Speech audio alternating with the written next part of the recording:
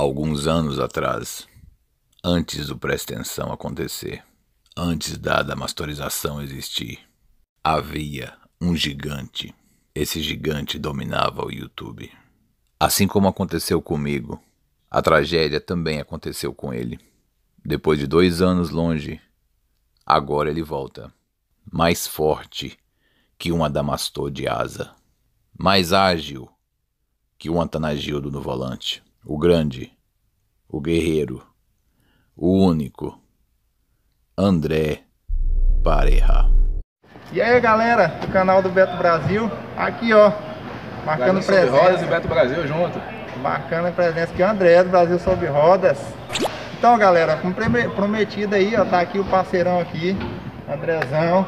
É mais um parceiro aí que a gente conhece aí, né, virtual, canalzão do, do homem no YouTube bombando. Último ano, né, Sucesso total aí. Graças a Deus, né? É. Bastante inscritos aí, a galera compartilhando bastante, gostando muito do trabalho. E é isso aí, como eu sempre falo, o trabalho é pra vocês, galera. Bom dia, boa tarde, né? Mas é isso aí, rapaziada. Torcer pra que o futuro melhore. Meio difícil, né? Com a união que a gente tem vai ser meio difícil, mas torcer pra que um dia alguém dê valor em nós. E aí, pessoal, tudo nos conformes.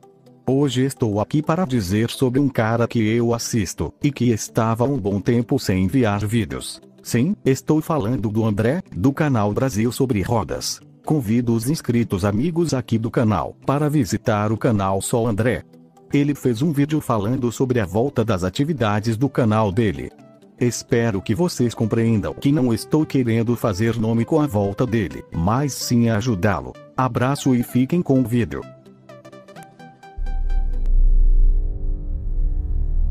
O mundo não é um grande arco-íris. É um lugar sujo, é um lugar cruel, que não quer saber o quanto você é durão. Vai botar você de joelhos e você vai ficar de joelhos para sempre se você deixar.